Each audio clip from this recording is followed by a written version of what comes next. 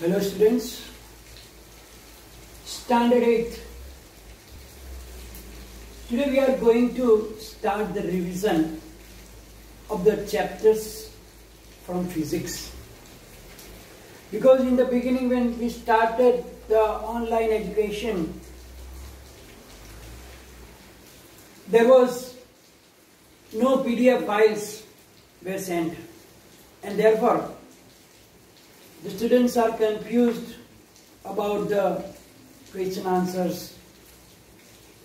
So, I'm going to revise the chapter number 11 and then along with it I will send some question answers in the PDF so that the students can get prepared with these chapters. So chapter number 11 is the force and pressure. Now, in the lower standard, like standard 7th, you learn that uh, how the objects move. We know that the objects cannot move by themselves. Also, we know that uh, what is motion? When the object change its position with respect to time, then we can say that it is in the motion. Also, we learn about that uh, which object from the moving is slow or fast. Also, we understand that uh, when the object is moving and then it uh, slows down. For example, the ball is rolling on the floor, then it slows down itself. When we apply the brakes, also the vehicles slow down and finally they stop. Or sometimes it can change the direction also. Now, if we recall our some experiences in our everyday life, like uh, if your ball is lying on the floor and you want to move it, what we do? Either we kick it with your foot or what do you do? Maybe you take a stick or something and hit it. Or you can move it with your hand also. In the football also, game of the football, the players kick the ball in the different direction so that they can make the goal. Similarly, in the game of hockey, game of cricket, in all this situation, when it is needed, either the ball is moved faster, faster or slower. For example, if a goalkeeper is there, he will try to slow down or stop the motion of the ball so that it cannot be in the goal post. Otherwise, the opposite team will get the point. Goal. Similarly, when a fielder is fielding there and the ball comes, also he will try to stop the run and for that he has to slow down the slow down the ball. So in some situation we need to make it faster, sometimes we need it to slow down or sometimes we need to change the direction also. For example, a cricketer, especially a batsman, want to make the runs, then when the ball is coming towards him, he will quickly decide that in which direction if he can hit, there is chances, there is a chance to make the run. Then in the desired direction, he will move his bat so that the ball will move in that other direction. So now, if you see in these all things, we know that we talk about it that we have to apply force. ગુજરાતીમાં કહે તો આપણે બળ લગાવવું પડે જોર લગાવવું પડે right so in these all situations not only in the games i just gave you the example that in those games sports it happens like that. But in our daily situations also if you want to move a table if you want to lift something if you want to open the door or to close the doors and windows and your cupboards. In every situation you have to apply force. Without forces you can't do any type of work so here the question arises that what is actually a force? So now if you want to move the objects which are at rest position then we do some different type of actions. Like if something is falling on the floor you want to take it. You are picking it up. The doors are closed. You are opening it. Or shutting down shutting ball. You can kick it. You can hit it. You can lift it. You can flick it, you can push it, you can pull it. So these are the actions in which we apply the forces. But if you see all these actions, if you observe the, all the situations like hitting or kicking pulling, pushing, opening, shutting, etc. They can be actually divided into only two things. That are the pushing and pulling.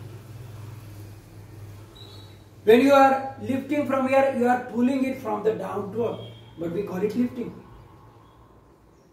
When you are opening the door, you are pushing them. When you are closing them, you are pulling them.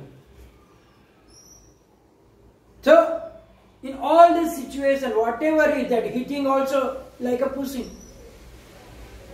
So, in this situation, we can say that when we apply the force, it means that we are doing any one of these two actions, either pulling or pushing.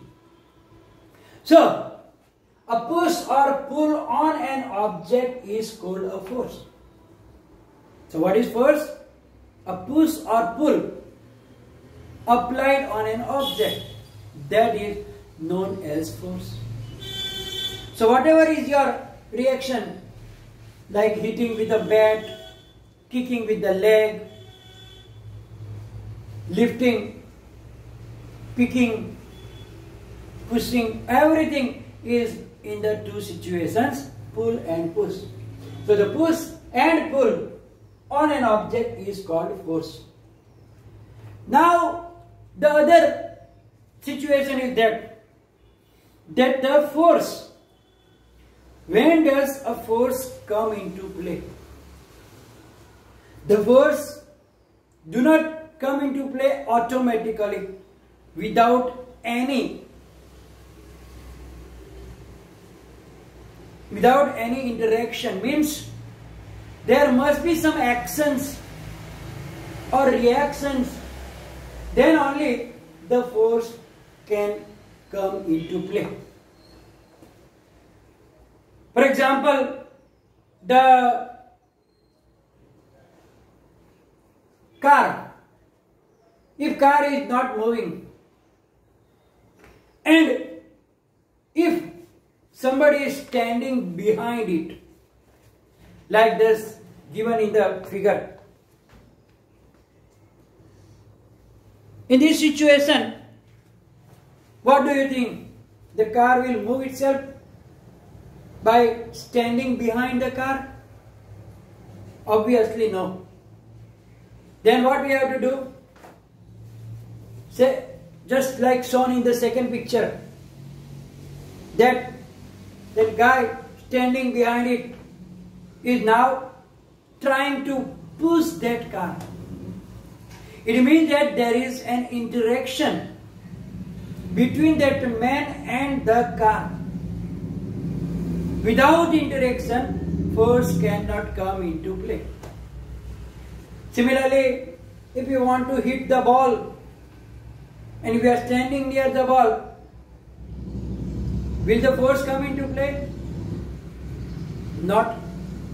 It means that anyhow we have to do interaction with the ball, either with your leg, with your hand, using a stick, using a bat, anything. There must be an interaction between the ball and some other object. Then and then force can come into play. So here you can see that at least two objects must interact for a force to come into play.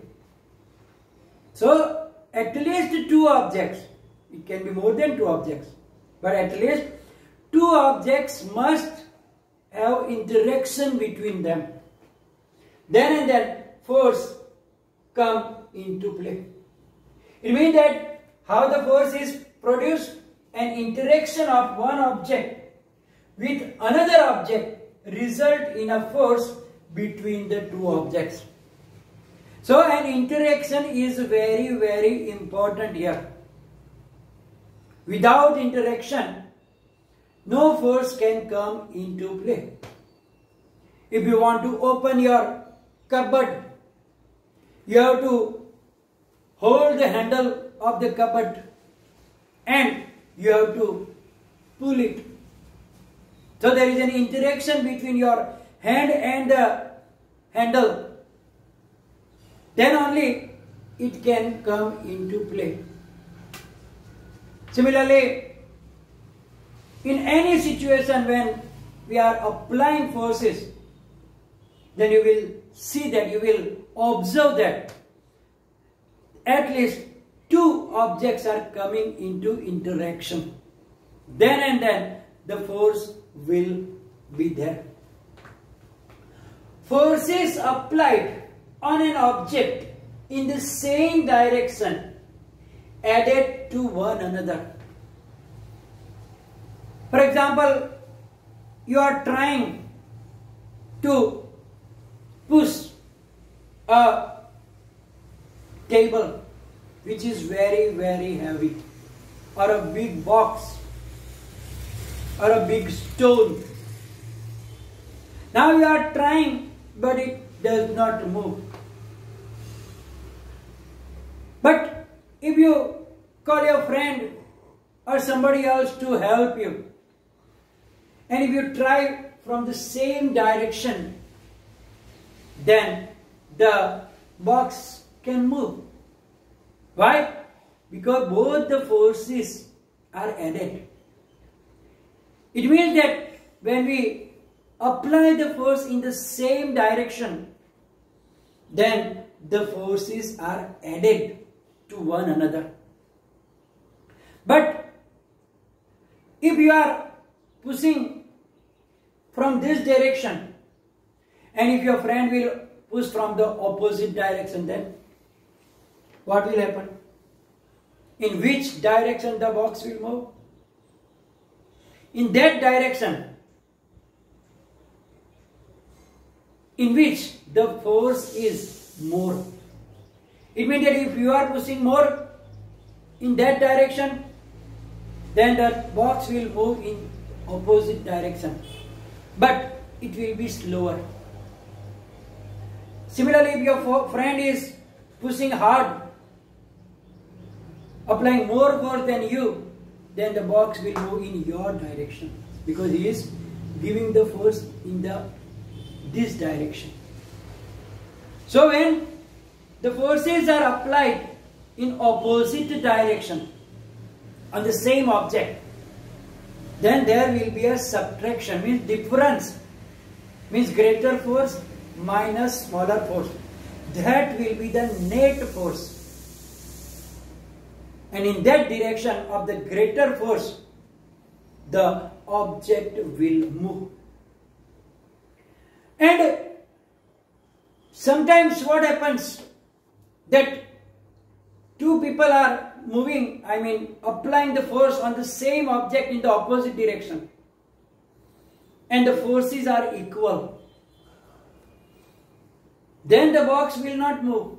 If your force and your friend's force are equal, then the box will not move. Means net force will be zero. Okay, before that also I wanted to explain you something. That whenever the forces are applied, force are always in pair. You can see in the some situations shown in the figure. The two girls are playing. Here also the two girls are there. Here a man and a bullock are there. In this situation, who is pulling whom or who is pushing whom? You will see that both the persons are applying force on each other. Because forces cannot be alone. Forces are always in pair. So when a man is trying to pull the bull, bullock, and bullock want to pull himself on the other direction. So here both are pulling each other. Similarly, when the girls are playing that, uh, what you call it in Gujarati, pair pudardi, then both are pulling each other and so on.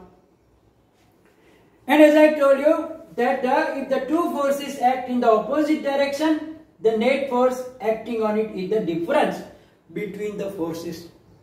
It means that it says that in general if you talk that doesn't matter more than one forces are acting on the object but finally the